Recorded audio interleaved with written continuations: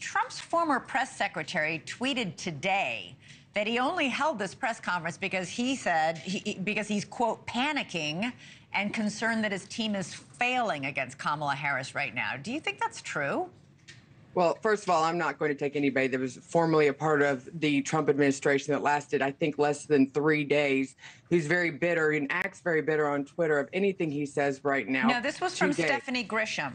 Oh, never mind. I was thinking it was Anthony Scaramucci because No. he actually tweeted out about the same thing. as Another well. former Trumper. Yeah, no. So let's say go down your list of them right now. No, I don't think that's at all what this is. I think that he's trying to once again draw a stark difference between what the Harris uh, Walz strategy is going to be to the campaign season from here on out, and as well as what he's going to do. So if they're going to start doing, and frankly, Donald Trump should just sit back right now. He should let the news, let the journalists do what they're supposed to do and start looking into who Walz really is, what his record is. Look, continue to put Harris um, in the spotlight. He doesn't have to do anything. The two of them speak for themselves and why the American people, if they're allowed to really get to know how progressively, radically left the two of them are, uh, I, Trump could just sit back and win on election day. You know, Nina, the fact is, is that Trump was taking questions from the press today and from black journalists at the NABJ uh, last week.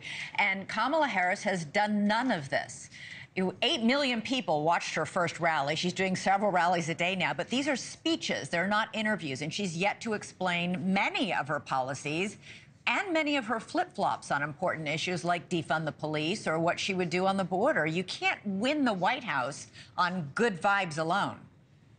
Well, that is true, Elizabeth. Now, but it is also true that Trump is rattled. He is rattled as hell. That is why he is out there right now doing those types of press conferences because all the oxygen is going towards the Harris Walz uh, campaign. So the former president has to be out there to try to try to draw more attention to him.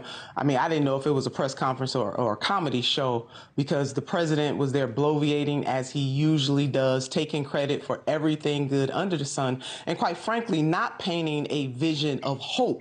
Everything has gone wrong in this country, according to President Trump, and he and he alone is the only one that can save this country and dare I say the world. That is exaggeration. That is classic President Donald J. Trump. Nina, there was a moment uh, when Trump appeared to compare him. I, I, I don't know. He was talking about crowd size again, about which he got very animated today. And he claimed today that his crowd at his speech on January 6th was bigger than the crowd of people who watched Martin Luther King give his I Have a Dream speech. Uh, take a listen to this. If you look at Martin Luther King when he uh, did his speech, his great speech, and you look at ours, same real estate, same everything, same number of people, if not, we had more. And they said he had a million people, but I had 25,000 people. But when you look at the exact same picture, and everything's the same because it was the fountains, the whole thing, all the way back to uh, from Lincoln to Washington, and you look at it, and you look at the picture of his crowd, my crowd, uh, we actually had more people. Okay. Um, according to the Associated Press, there were a quarter of a million people to watch Martin Luther King give that speech. There were 10,000 people to watch Trump's rally. He can't help himself. It's me, me, me, me, me.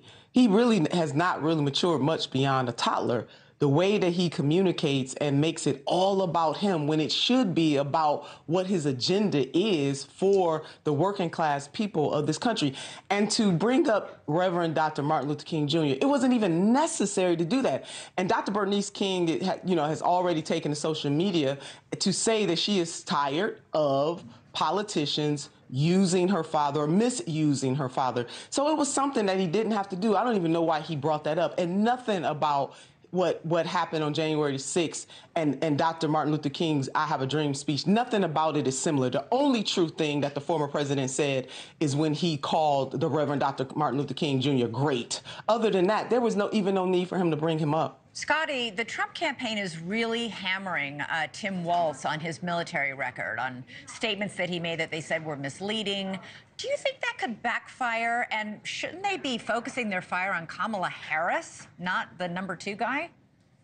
Well, I think it you can do both. I believe that these politicians on the campaign trail need to multitask and they need to handle all of the issues. And yes, I do think that we do, you know, that we do need to respect Walz's service while at the same time questioning why he did get out four months before his uh, National Guard uh, deployment was activated, his troop was activated. I think that's a legitimate question that he should answer. Thanks so much for watching. Go to joinnn.com to find News Nation on your television provider. And don't forget to click the red subscribe button below to get more of News Nation's fact driven, unbiased coverage.